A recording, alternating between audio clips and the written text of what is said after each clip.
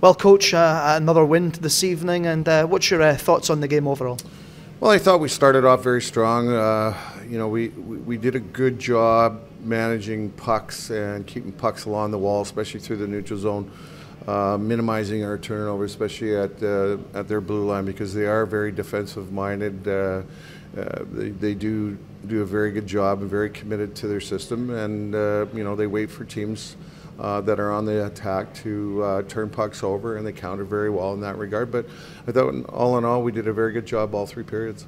Yeah, and I must give a shout out to your goalie as well. When the Stars did have opportunities, he was right there and uh, uh, there to, to, prevent anything going in the back of the net. Yeah, I, I, I don't think they really had any, you know, uh, grade A's in, in the sense of, you know, opportunities right in the slot. There, are a lot of the you know, shots that Dundee had tonight were from the perimeter, and, and Mike is very good at his uh, angle coverage and controlling his rebounds. And uh, anytime there was one tonight, our defensemen did a good job uh, blocking out their forwards and uh, getting pucks, you know, back into the corners. Uh, blocking shots, uh, you know, when they had shots from from the point tonight.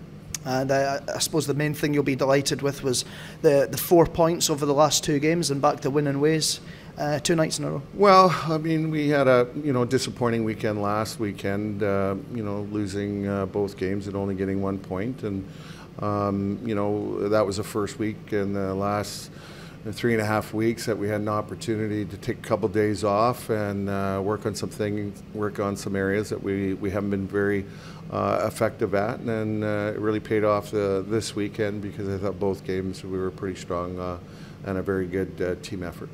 And uh, next up, Sheffield uh, on Boxing Day at home, uh, the start of a, a double header against them and a, a, run of games next week. But uh, uh, how do you prepare for that one? Well, I mean, the first thing we do is we get home, uh, have a good day off tomorrow, and we're back on the ice at 9 o'clock on.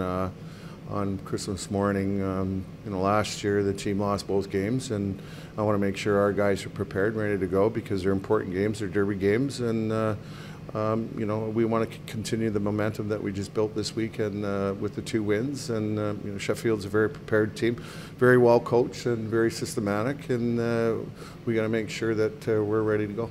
Well, thanks for talking to us, and congratulations on the uh, the results this weekend. Great, thank you.